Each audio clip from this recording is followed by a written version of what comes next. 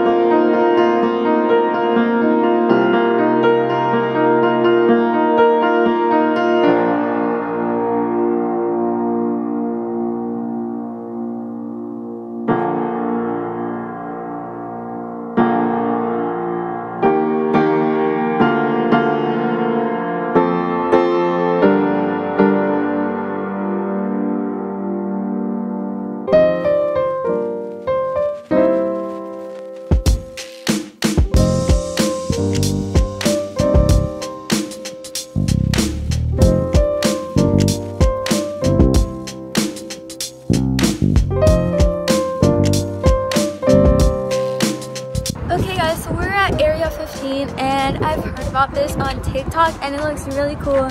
So we're gonna be trying to film inside um, and we can show you guys a little bit. Here's my mom. Hi.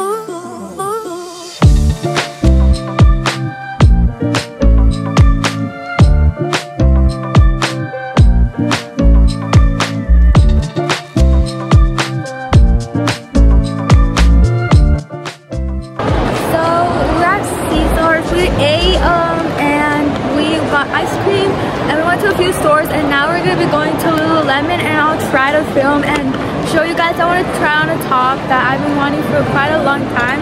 So we're going to try and see and we'll be back with you guys later. Um, we're probably going to go to the Statue of Liberty part, which is the New York part. And we're going to most likely go in there. So I just got out of Lululemon. I was gonna record, but I ended up like trying. I forgot to record, but I'll do a, um, a haul at the hotel. And here's my mom again.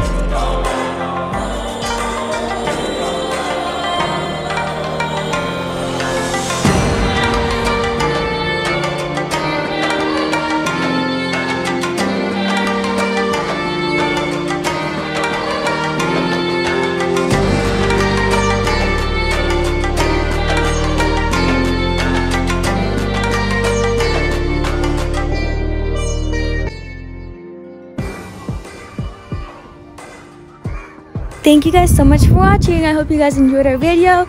And we try to film as much as possible for you guys to see how our Las Vegas trip was. I hope you guys enjoyed it. And stay tuned for our next video. Bye!